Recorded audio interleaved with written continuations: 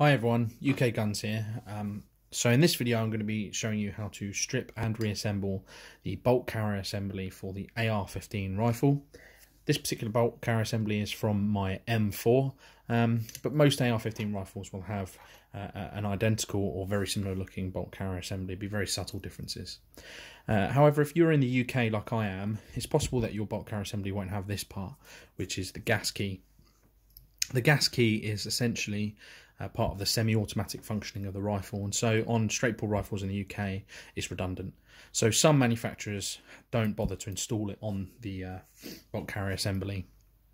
Some still do like this one um, but others don't. So if it doesn't have that part uh, don't panic. Unless your rifle's a semi-automatic one if you're somewhere else in the world and then it definitely should have that part Okay, so first off then what you need to do is remove the bolt carrier assembly from the rifle. If you're unsure how to do that, I'll leave a link in the description to my other video uh, where I demonstrate how to strip and reassemble the AR-15 rifle. So go ahead and watch that video and then come back to this one. So the first thing I'll do then is I'll introduce you to the parts of the bolt carrier assembly so that we know what we're working with. So obviously this is the bolt carrier assembly itself. And then in here this is the firing pin retaining pin, which runs all the way through to the other side there. And as the name would suggest, that retains the firing pin, which we can see here, protruding out the back. Obviously on top here, as I've already explained, is the gas key. And then this piece here, this rectangular piece, is called the cam stud.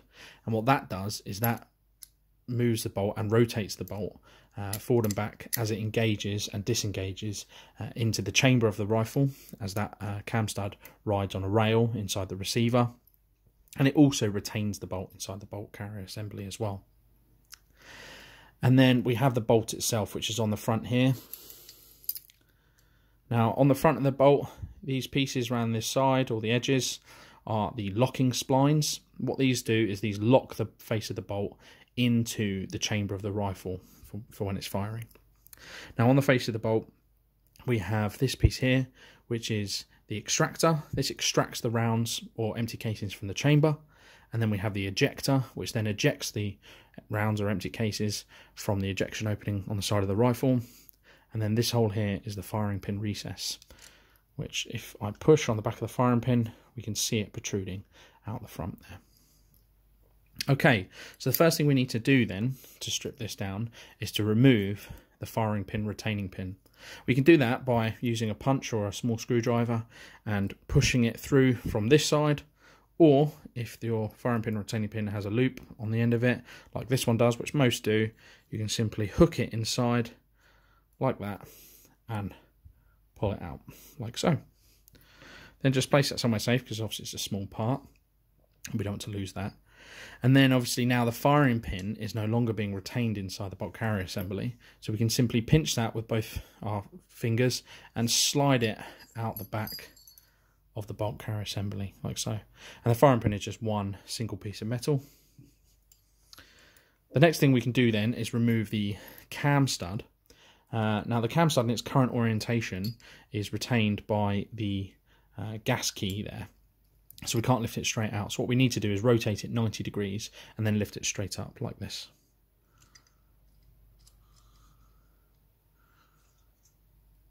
Like so. Now the cam stud is just one piece of metal with this hole all the way through it. And that's the firing pin that goes through that hole. So that should be unobstructed. Now the bolt itself will just slide straight out the front of the bolt carrier assembly like this. And that's basically all you need to do. You can go a step further and, you know, remove the extractor and the gas key. I'm not going to do that in this video because for the most part you won't need to do that really ever. And even stripping the bolt itself down in the bolt carrier assembly, uh, you don't really need to do unless it's excessively dirty or it's been submerged in water or something along those lines and it, and it needs a clean and a light oiling. What you can do though with it all stripped is just check that everything is as it should be. You've got your extractor and your ejector here. Um, make sure that they're sitting flush. There's a ring on the back of the bolt here which should move freely. Now, an important point to note is that inside the bolt, you may not be able to see it on camera, but there's a little hole just in here, which is where the firing pin goes through, which I'll show you. You see the firing pin all the way through there. And inside the bolt itself is a small spring that is what ensures the firing pin resets. Um, it's called the firing pin return spring and that sits inside there. Now I have known that spring to fall out from the bolt uh, when you're disassembling or reassembling and it is a very important feature and it needs to be inside the bolt. It was quite easy to reinstall when it did fall out. I simply just lined it back up with a hole and then pushed the firing pin through which slotted it back into where it needed to be and it's been retained in there ever since. But um, it's just a point to note that that can happen and it's really important that that spring uh, is in there. So once you've done all that then, uh, now you can reassemble the bolt carrier assembly, which is exactly the same but in reverse.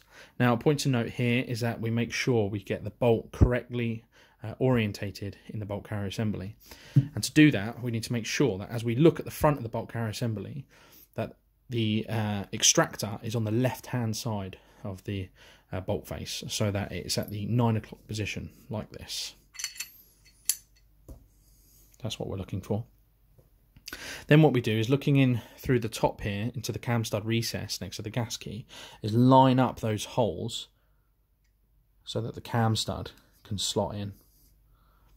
And we're going to drop it in in the same orientation that we pulled it out from earlier, which is the longest edge of the cam stud uh, being uh, parallel to the bolt carrier assembly, like this. And then rotate it 90 degrees so that it's sitting underneath the gas key again like that. Then what we can do is reinstall the firing pin by sliding that in through the back of the bolt carrier assembly. It's a bit fiddly to line it up, but just drop it in. It should protrude out the back slightly. That's normal. And then we reinstall the firing pin, retaining pin. And that should slide through and then sit flush uh, without getting stuck or any hindrance.